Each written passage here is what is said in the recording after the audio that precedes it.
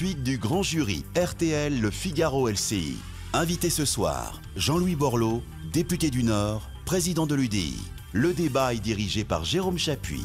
Nous sommes de retour dans le grand studio d'RTL pour le grand jury de Jean-Louis Borloo. Vous avez à plusieurs reprises depuis le début de l'émission évoqué la question du logement très rapidement. 330 000 logements construits en 2013. Euh, on est très en dessous de la promesse de 500 000 logements du candidat François Hollande. Est-ce de la seule responsabilité de la ministre Cécile Duflot? Malheureusement, c'est plus grave que ça. D'abord, un mot, le logement, c'est beaucoup plus que le logement.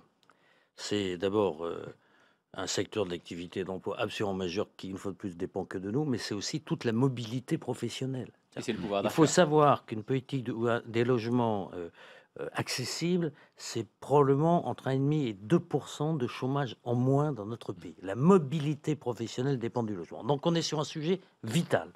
On est dans un pays qui a une densité assez faible, on a les ingénieurs, les bâtisseurs, les entreprises, donc il n'y a aucune espèce de raison. Mais encore une fois, la part de responsabilité du gouvernement dans tout ça eh Je veux dire, elle est totale. D'abord, les, chiffres sont bien plus alarmants que ceux que vous venez de dire. Vous venez de donner des chiffres des, constructions euh, mhm. actuelles. Le chiffre le plus alarmant, c'est le chiffre des permis de construire. Et là, on est à 280 000. Et si je regarde les zones d'activité, enfin les zones d'urbanisation de, qui permettent ensuite, plus tard, là on est à un effondrement total. Nous nous préparons à la plus grande crise du logement et de bah, l'habitat de l'époque de l'abbé Pierre. s'est emparé du dossier puisqu'il a, il a noté que c'était trop long aujourd'hui pour avoir un permis de construire et qu'il fallait ramener le délai de 8 à 5 mois, je crois. Donc Le, problème est, souligné. Je, remercie M. Jourdain, mais euh, la réalité de la politique, moi j'ai connu quand la gauche est partie la dernière fois, on était à 300, un peu moins de 300 000. Navré de vous dire, quand j'ai quitté le ministère du Logement, on était à 477 000 avec, avec un objectif de 500 000. Alors pourquoi il n'y a plus de Donc je sais un peu. Pour plusieurs raisons. Euh, d'abord, c'est une matière qui évolue en permanence. Mais enfin, là, très récemment, le changement de taux euh, des prêts, des prêts immobiliers, le prêt à taux zéro, a été une catastrophe. On a effondré les prêts à taux zéro pour les primo-accédants. Vous savez, les jeunes mmh couples qui veulent venir l'augmentation de la TVA comme ça, quand vous l'annoncez, une augmentation de 100% euh, en 18 mois ou en 2 ans, comme 100% de TVA d'augmentation, à votre avis, ça a un effet ou aucun effet sur, euh, sur le secteur? Une augmentation de 100% de la TVA Oui, oui, oui, de la TVA entre, 2008, entre 2011 mmh. et aujourd'hui, vous avez 100% d'augmentation de la TVA. Voilà, la TVA sur le logement social, vous avez eu 100% d'augmentation. Donc tout ça, ça a des effets considérables. Euh, le fait d'avoir encadré sans encadrer, tout en encadrant le loyer moyen, ça a quoi comme effet? Bah, Une perturbation totale de l'investissement avec un effet antisocial majeur, parce que quand vous êtes sur une moyenne, bah, le, logement le moins cher, il augmente vers la moyenne, et en fait, ça a aidé plutôt les logements extrêmement bah, élevés. vous ne pouvez pas, vous ne pouvez pas ignorer sociale, que, le, problème du foncier est un problème majeur dans ce pays, quand même, même si vous estimez que la densité n'est pas très forte. Mais le problème du foncier et de la cherté du foncier, c'est un vrai problème. C'est un problème. C'est d'ailleurs pour ça qu'il y avait des politiques d'urbanisme dans ce pays, avec des, des opérations, pas entrer dans la technique, dites d'intérêt national. Quand on a construit les villes nouvelles, les extensions, ce sont des opérations d'intérêt national qui sont aujourd'hui arrêtées. Donc il y a un sujet majeur. On nous avait annoncé une liste de, une liste de terrains de l'État, souvenez-vous. c'est une mhm. liste fantôme qui a disparu. Il y a aujourd'hui un problème de la maîtrise de la construction de logements dans notre pays. Oui, c'est un échec absolument majeur. Jean-Louis Borloo, après la décision de la justice administrative, euh, Dieudonné a donc renoncé à son spectacle. Est-ce que ça signifie que, contrairement à ce que vous aviez pu dire d'ailleurs, euh, mmh. la démarche du gouvernement a été, euh, au moins à court terme, efficace? Parce que vous avez dit que le gouvernement n'a pas choisi le bon outil. Oui, hein, absolument. Lorsque le tribunal administratif a commencé à donner raison. Alors d'abord, nous sommes totalement du côté de la lutte implacable contre tous les racismes, antisémitisme, mais tous les autres racismes également. Hein, moi, je suis d'origine radicale, président du Parti radical, parti de la laïcité et de la lutte contre tout, tout, toute cette forme de haine. Et je dois dire que tout, le monde est, pénétré mal à l'aise. Enfin, c'est même un peu incompréhensible dans notre pays. Alors après l'outil, moi j'étais un peu circonspect parce que j'avais le sentiment que l'outil pénal plus ferme, plus mhm. rapide, sans rentrer dans des débats, c'est la faute du gouvernement, sans rentrer là-dedans. On est sur quelque chose vraiment qui, dépasse tout ça. Qu'une action pénale directe, active, fiscale, puissante, était probablement plus discrète et donc plus efficace. Et là, vous dites l'interdiction administrative, finalement, finalement, ça marche Finalement, le gouvernement a pris une autre, une autre voie, enfin j'espère qu'il prend les deux, mhm. en l'occurrence. Moi, je constate que le Conseil d'État a fait évoluer sa jurisprudence, qui me paraissait euh, très hasardeuse, c'est pour ça que j'étais un peu circonspect. Bon, je veux dire, c'est fait, tant mieux. Vous dites bien joué, bien joué bon, écoutez, en tous les cas, ça a l'air d'être efficace pour l'instant. On verra s'il y a, s'il y a un feuilleton. Mais moi, sur ces affaires-là, je veux dire, en tous les cas, il y a un engagement, il y a des limites à poser, euh, il peut y avoir tel ou tel outil. Dans tous les cas de figure, c'est les limites qui sont importantes. Il était indispensable qu'il y ait ces limites. Maintenant, maintenant, il y a un problème plus général d'opinion publique, mm-hmm. euh, de, de espèce d'abaissement de, des civilités du manière plus générale, mets pas ça sur le même plan que les insultes à des profs, mais enfin, on a un sujet général des limites dans notre pays, et je pense que euh, nous tous, les médias, les profs, les mères, les parents, est-ce qu'il faut faire une grande nuit de la fraternité, une grande journée de la fraternité, de la lutte contre tous les racismes, de la lutte contre l'exclusion? Vous savez, moi je suis très sensible, j'avais euh, grâce au président Chirac, mis en place la haute autorité de lutte contre les discriminations et pour l'égalité des chances. Mais vous savez ce qu'on en 2005.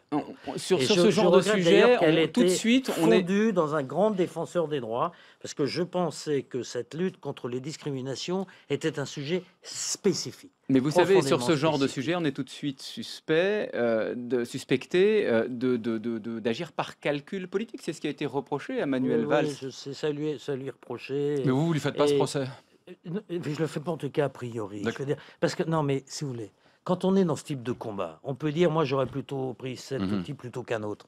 Bon, ça, ça fait partie du débat presque technique, je veux dire, euh, entre nous. Mais, mais une fois que vous avez dit ça, c'est, si c'est pour affaiblir de près ou de loin ceux qui, qui luttent contre toutes ces formes d'intolérance et de racisme, alors qu'il faut bien comprendre que c'est ce que nous avons de plus précieux le respect de l'autre, même pas le vivre ensemble, l'amour, la, fraternité, la, République, enfin je ne sais pas comment vous le dire, mais c'est tellement vital qu'on peut avoir des outils différents, préférer mm, tel ou tel, mais je ne veux pas rentrer moi dans ce procès d'intention. Je vois bien, je vois bien que ça a créé euh, beaucoup de, de communication. Euh, je vois bien tout ça. Bon, d'accord. Bon, maintenant, l'outil a été pris, le Conseil d'État s'est exprimé, c'est la position de la République. dit qu'il faire un autre spectacle. Est-ce qu'il faut l'autoriser? Est-ce qu'on peut l'autoriser ou est-ce qu'on peut lui interdire de faire un autre spectacle?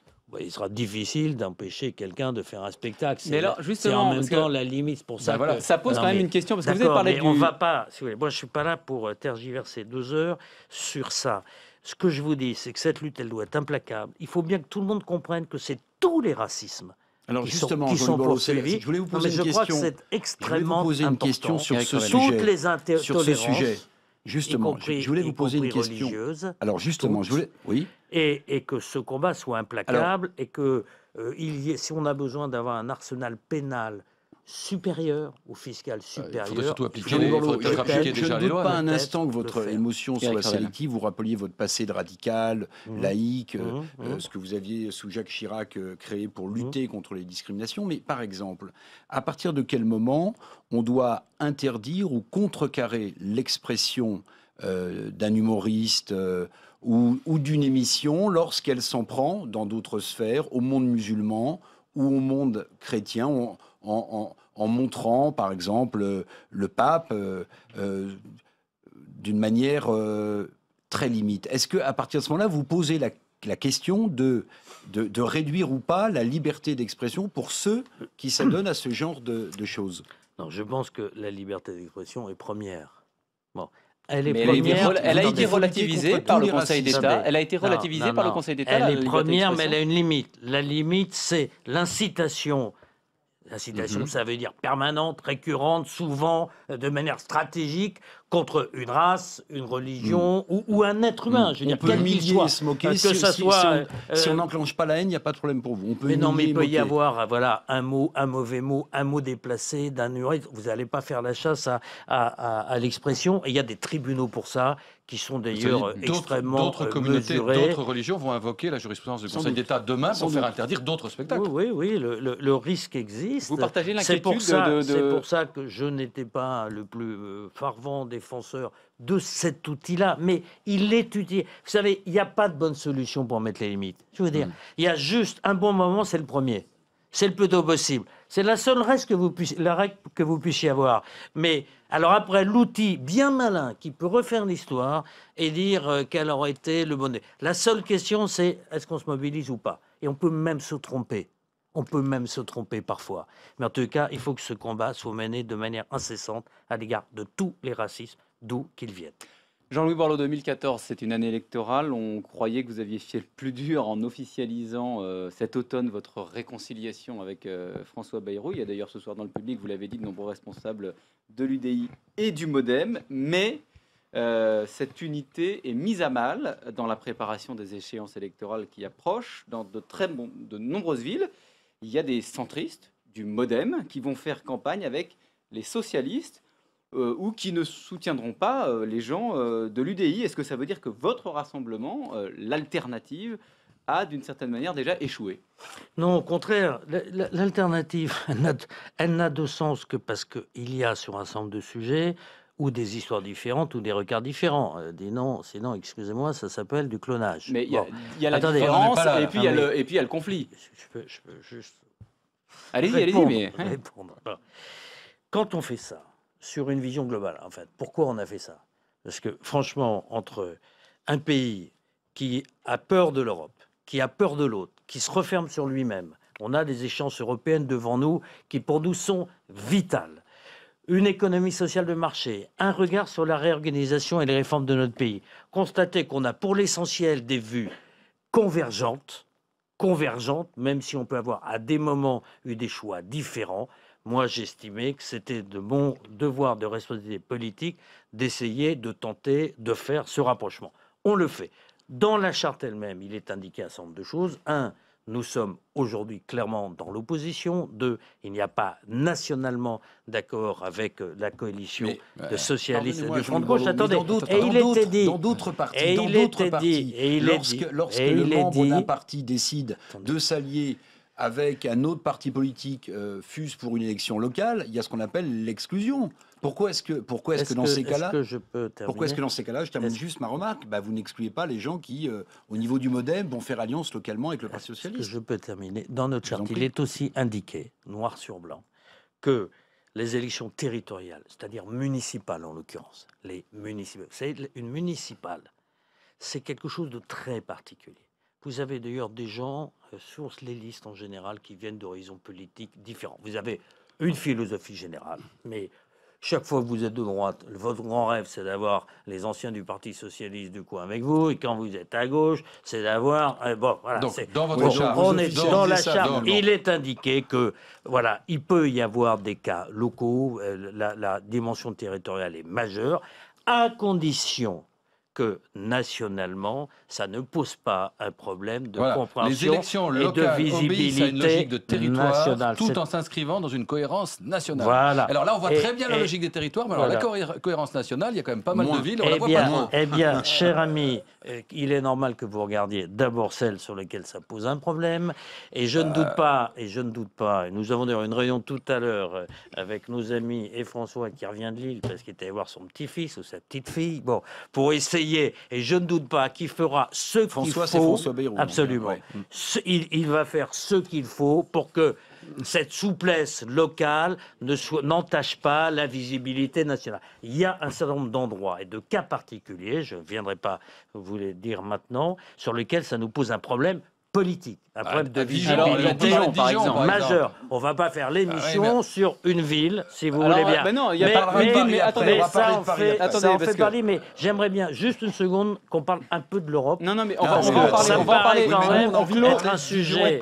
On va en parler. On va parler sur Dijon. Je vous ai dit ce qu'il en. Non, non, mais parce que vous dites Dijon, mais quand on regarde Dijon, Strasbourg, Le Mans, Bourges, Lille, Roubaix, Tourcoing, Villeneuve-d'Ascq, ce sont des villes où le modem va s'allier avec le Parti socialiste. Et ce soir, vous nous dites que ça pose pas de problème. Non, je vous ai pas dit ça. Je vous ai dit que je comptais sur François Bayrou pour faire en sorte que des équipes locales qui ont travaillé pendant des années et qui souhaitent pouvoir continuer à le faire puissent le faire sans que ça soit un soutien politique national, d'accord national, et que ça remette en cause. Mais c'est l'intérêt de personne, pas plus l'intérêt du modem de, quelque, de qui dont. Simplement, quand on fait une opération de rapprochement, eh ben, c'est pas simple, c'est difficile. On le sait au début, c'est pas une nouveauté. Cette phrase, c'est la seule qui a pris du temps en réalité bah dans la rédaction. Donc euh, découvrir qu'il y a des difficultés, excusez-moi, je le sais, je le savais, c'est pas nouveau. Euh, simplement, Morin s'en simplement, ben, il, a bien raison. Notre Hervé, mariage il dit, ne peut pas tourner au vaudeville. Euh, c'est quand même qu'il y a un petit problème. Il a bien raison. Il l'a dit dans un dans un organe de presse que vous connaissez au Figaro, bien, sûr, et, pour cause, simplement, il peut pas y avoir d'incompréhension de, nationale. Voilà, ça ne peut pas impacter l'accord national. Mais en même temps, il faut accepter l'idée que sur dans certains endroits, sans que ça pose de drame nationalement, il puisse y avoir un peu de souplesse. Alors, laissez-nous euh, faire. je compte sur François Bayrou pour clarifier ce qui est clarifiable et ce qui est aussi pour indispensable. voilà. D'un mot, euh, encore une dernière question sur euh, les municipales et après on parle d'Europe. Euh, est-ce que vous irez soutenir euh, François Bayrou bah, à Pau et Nathalie Kosciusko-Morizet à Paris Ce C'est même pas une question. Je veux dire, c'est, ça, ça tombe sous le sens. Alors, en ce qui concerne Pau, euh, François il y a quelques jours, ça tombait pas sous le sens que vous alliez supporter Nathalie Kosciusko-Morizet à Paris. Arrêtez, arrêtez. compliqué les listes quand même. Ça a été très compliqué. Alors je vais vous le dire en une phrase. Euh, vous avez déjà vu à Paris des listes simples? Bon. D'ailleurs, c'est toujours compliqué. Alors, voilà, euh, on a d'accord le 5 décembre. J'apprends le 12 que on a oublié la liste et on en publie une autre, on s'est un peu engueulé, c'est rectifié, voilà, on va pas dormir là-dessus. Les listes maintenant sont clairement établies. Mm. Voilà, il y a eu, on, va dire qu'il y a eu un petit peu d'empressement et de maladresse. Donc très on bien. verra côté La question ne se pose pas. Quant à François, il veut, il a raison, c'est une affaire strictement municipale. Il sait depuis le premier jour que je suis à sa disposition. Euh, mais lui, c'est une affaire locale. Il ne veut pas, euh, d'une manière générale, qu'il y ait trop d'interférences nationales. Mais il sait que tout le monde, tout le monde, Chantal, Yves, Hervé, euh, euh, euh, Olga, Rama, moi, on est à sa disposition. Et, je vois bien certains, certains essayer de, essayer de, foutre un peu le brin, comme on dit chez nous dans le Nord. Hein, à Paris, eh bien, eh bien on n'y arrivera pas. Mais vous savez pourquoi certains essayent de foutre le brin, comme vous dites Oui, c'est parce que ça les arrange en Charente, En Charente, on dit, nous, deux coqs dans la même basse-cour, je rajouterais centriste, ça fait peut-être un coq de trop. Si François Bayrou est élu à Pau, est-ce que ça ne le remet pas en selle politiquement et donc ça devient un concurrent pour vous qui vous rêvez peut-être d'être candidat en 2017 Je veux dire, je veux dire un, ceux qui ont pensé que sa défaite aux législatives l'avait enterré politiquement sont trompés. Oui, mais vous ne répondez pas à ma question. Mais si, je vous réponds. Je pense que c'est une affaire de lui vis-à-vis des Palois. Succès que j'espère ou défaite ne changera rien. Ce n'est pas le sujet ce n'est pas le sujet. Quand, au moment où je fais, où je, propose à mes amis qu'on fasse ce regroupement et qu'on fasse cette alternance, je ne suis pas dupe du fait que ça simplifie un peu la vie sur sa mhm. droite ou son centre droit, un petit peu, et que c'est une aide. Bon, alors c'est pas, ou alors on me prend pour un analphabète complet, je sais très bien ce que je fais à ce moment-là, et, et ça fait partie des villes comme Amiens, Caen, Rouen euh, Alençon et bien d'autres que nous espérons conquérir tous ensemble et garder Mont-de-Marsan euh, et Hérouville-Saint-Clair. Voilà. Bah, juste un mot sur, sur Paris. Il y, a des, dissidences partout, à peu près dans tous les arrondissements. Ça vous inspire quoi, ça? De, quoi bah, Plein de toutes ces listes qui se créent, euh, Becbédé par-ci, euh, Tibéri par-là, et j'en oublie beaucoup. écoutez, je, pense que c'est parfaitement anecdotique. Vous pensez que ça n'aura pas de, de conséquences Ça n'a strictement aucune conséquence. Euh, je pense que la, ça ne peut pas empêcher Nathalie euh, Kosciusko-Morizet de gagner à Paris. En, aucun cas, en aucun cas. À La division, c'est toujours un facteur de succès. Non, ça peut parfois. non, mais non, non, excusez-moi, mais attendez, excusez-moi. Il s'agit de, de, sujets personnels. Bon, là, en l'occurrence, il y a eu un accord de l'UMP, de l'UDI et du MoDem, qui est un accord politique sur une vision politique de la ville et un accord ce qui, qui va en assurer le leadership. Bah, c'est ça quand même. Ça, c'est un accord politique qui est un accord assez innovant, euh, assez récent. Alors qu'après, ça soit compliqué à tel ou tel endroit pour telle ou telle hmm. personne ne peut pas être un problème tout à fait secondaire. Les européennes, Jean-Louis Borloo, euh, Bruno Le Maire, UMP, euh, qui a été avec vous au gouvernement, dit il faut des listes communes avec l'UDI, mais sans le modem. Qu'est-ce que vous lui répondez? Qu'il est extrêmement gentil, mais qui commence à s'occuper de la stratégie de l'UMP sur les européennes. Entre les anti-européens notoires, les, sceptiques bien élevés, les sceptiques de, combat, euh, les optimistes honteux et les optimistes modérés et les vrais Européens comme lui, il y a déjà chez lui à faire, enfin dans sa formation politique, un peu de, un peu de, un peu de ménage. Bon, la vraie question pour eux, c'est ceux qui veulent défendre. Nous, on sait ce qu'on va défendre. Vous aurez des listes partout. Attendez, eh bien sûr. Ah nous, nous, nous, on sait exactement ce qu'on veut le défendre. Mais évidemment, on sait exactement. Jamais une élection européenne n'aurait été aussi importante. Et c'est justement parce qu'il y a un espèce de scepticisme, défaitisme, haine de l'autre, peur de l'autre, peur de l'avenir, que plus que jamais, c'est une élection majeure. Nous sommes, nous, des Européens, absolument convaincus, totalement, et chez nous, c'est une conviction profonde. L'Europe, comme tout organisme, a des défauts, il faut les corriger, mais elle est vitale pour une France forte forte politique de logement, de l'éducation, de la mm. qualification de l'industrie, mais il y a des sujets qui dépassent le sujet européen. Et si on veut défendre notre modèle économique et social et nos valeurs, nous le ferons dans l'Europe, par l'Europe. La grande politique de co-croissance avec l'Afrique, la grande politique de compétitivité, la convergence sociale, ceux qui pensent, ça va être un combat frontal, l'Europe. On nous le promet, on nous le promet très difficile. Eh bien, tant mieux. Il va y avoir ceux qui pensent, qui mentent aux enfants de notre pays, qui leur font croire que lignes Maginot partout, dans les têtes et autour de l'Hexagone. Non, je pense au Front National et à l'extrême gauche. Non, je pense que l'UMP est beaucoup, beaucoup plus proche que nous, mais qu'il y a deux UMP. Voilà, mm. c'est bon. À eux de voir exactement ce qu'ils font. Que d'ailleurs une partie de l'UMP vienne, vienne, hein. vienne, Non, mais sur l'Europe, excusez-moi, il n'y a, que vision. Donc nous, nous pensons qu'il faut de la convergence sociale, de la convergence économique, un ministre de l'économie, une visibilité démocratique. Nous sommes, il va y avoir vraiment les anti-européens et il y a les Européens. Et avec ce discours, vous pensez pouvoir convaincre 10%, euh, 15% des Français? Mais je, veux convaincre tous les Français de mais leur quel est votre objectif mais, mais, attendez, c'est pas la question. Mon ah, objectif, euh, en 2004, le modem fait 12, en 2009, il fait 8,5. C'est quoi C'est mieux ça, entre les deux? ça, ça, vous commenterez-vous après. Moi, je pense que cette bataille, elle est absolument injure. C'est la raison fondamentale de notre rapprochement avec François. Est-ce que le risque, c'est séparées Est-ce que le risque, c'est pas que le Front National arrive devant? C'est ce que dit le maire et tout un tas de gens à l'UMP. Mais, mais, parce que vous pensez que le, le niveau du Front National sera euh, beaucoup plus faible ou beaucoup plus bah, élevé s'il y a une liste Si la droite et le centre sont séparés, ils feront moins et donc ah le Front National ah bon? ah bon? ils, feront, ils, feront, plus en additionnant, mais individuellement ils feront moins et donc le Front National, faut, le Front National peut arriver en tête. Donc s'ils font plus, c'est mieux que s'ils font moins. Ça veut dire qu'il faudra additionner. Non, s'ils font plus. ça veut dire qu'il faudra additionner le soir bah, du vote. Eh, eh ben, vous aurez, mais la liste arrivée en tête peut éventuellement être le Front National. Attendez, parce que vous allez couper le, problème du Front National parce qu'il euh, y a dans la présentation tel ou. Enfin, tout ça, c'est des blagues absolues. Bon, la vérité, c'est que nous sommes, nous, convaincus qu'il faut dire aux Français une campagne, ça sert à ça. Je veux dire, ne vous trompez pas, ils vous mentent. Mhm. Foutre la trousse sur l'euro, c'est faire augmenter nos taux d'intérêt. On n'aura plus de financement extérieur. C'est une blague.